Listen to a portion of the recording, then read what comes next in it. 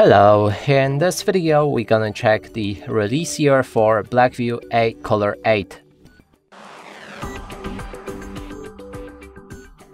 To do this, we'll need to visit our website hardreset.info, find this device and then scroll down.